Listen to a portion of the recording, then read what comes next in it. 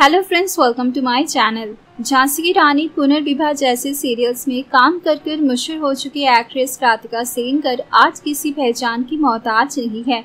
आज इस वीडियो में मैं आप लोग को बताऊँगी राधिका सेनकर की लाइफस्टाइल के बारे में। साल 2023 में उनकी रियल एज क्या है? उनकी फैमिली में कौन कौन है? उनकी शादी होगी कि या फिर वो कोई लिव इन रिलेशनशिप में है? उनकी सैलरी कितनी है? अभी तक उनकी बैंक बैलेंस कितनी है? इन सारे सवालों का जवाब मिलेगा इस वीडियो में। अगर आप उनके फ़ैन हैं तो इस वीडियो को अंत तक ज़रूर देखिएगा।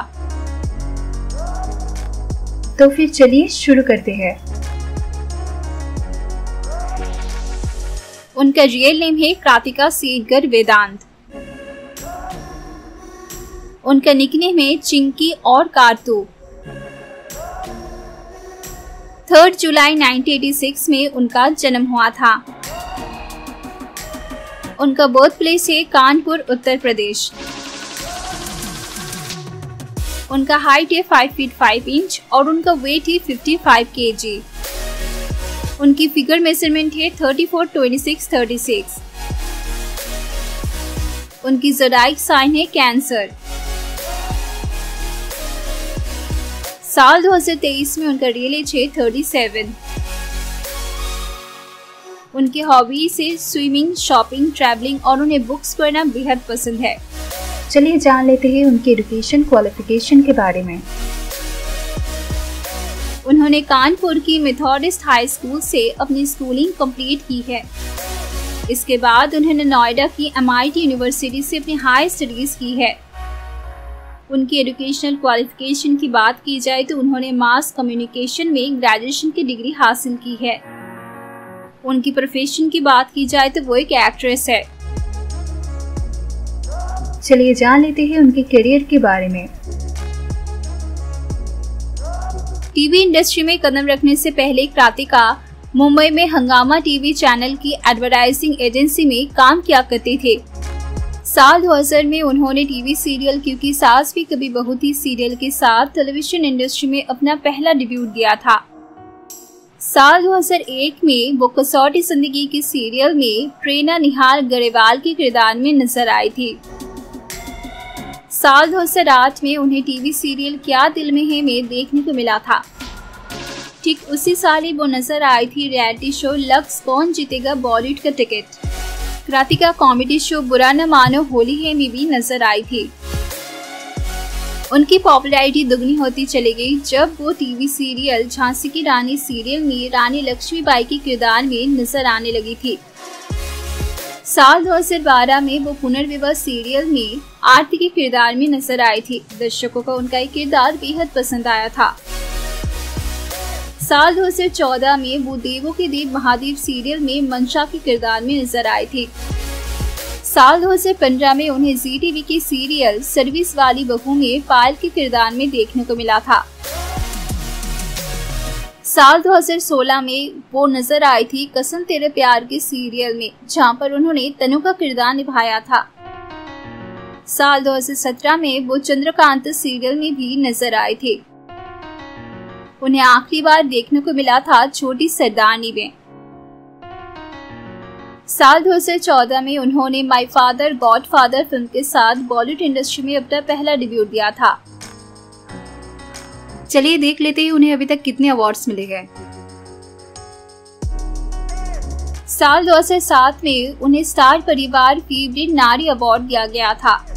साल 2010 में उन्हें जी रिश्ते फेवरेट बेटी का अवार्ड दिया गया था। साल 2011 में झांसी की रानी सीरियल में उनकी किरदार को देखते हुए उन्हें बिग टेलीविज़न वीर कैरेक्टर फीमेल का अवार्ड दिया गया था।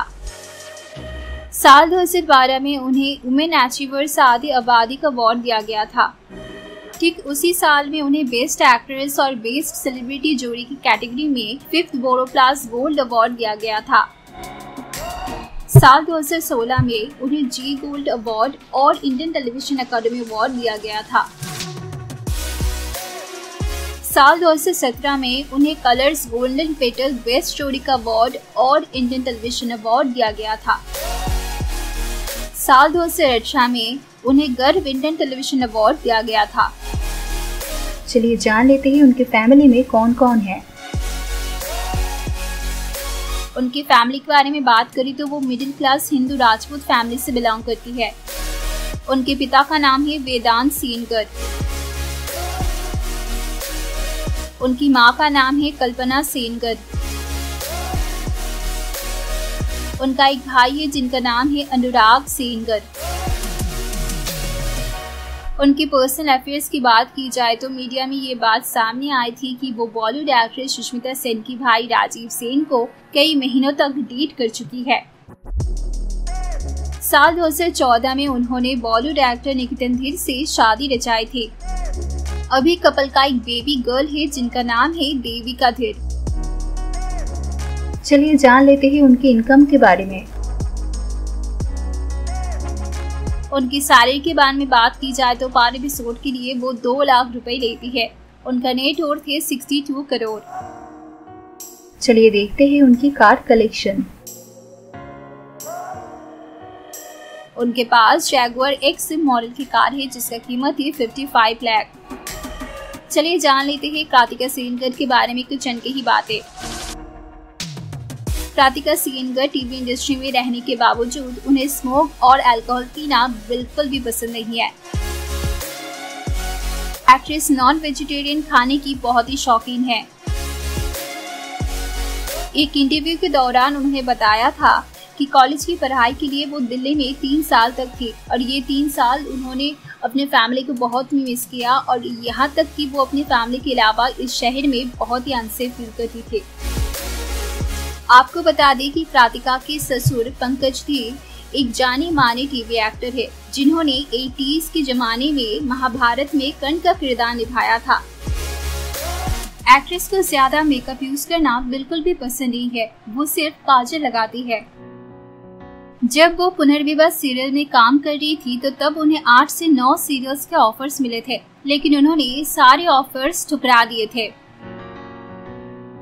बिग बॉस सीज़न नाइन से मशहूर होने वाले एक्ट्रेस सिविका चौधरी को कसम तेरे प्यार की सीरियल में लीड रोल मिला था, लेकिन बाद में ये किरदार क्रातिका सीनकर को मिल गया था। एक्ट्रेस को एक ही टाइम पर मल्टीपल काम करना बिल्कुल भी पसंद नहीं है।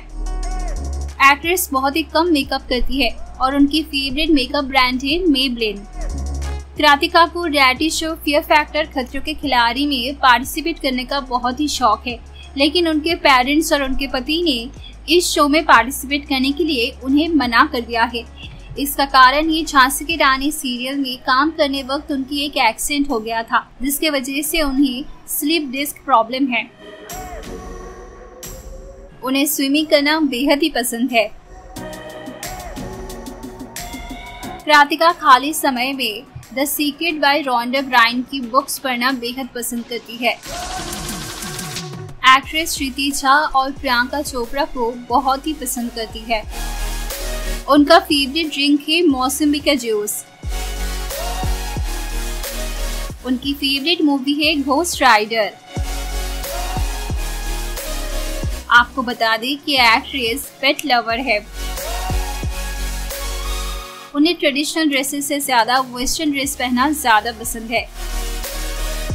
वो भगवान पर बहुत ही ज़्यादा विश्वास करती है। एक्ट्रेस फिटनेस फ्रीक है और अपने आप को मेंटेन करने के लिए हर रोज जिम जाती है। अगर आपको वीडियो पसंद आए तो लाइक एंड शेयर ज़रूर कीजिएगा और अगले वीडियो में आप किसका लाइफस्टाइल देखना चाहते हैं, वो कमेंट करके हमें ज़रूर बताएँ।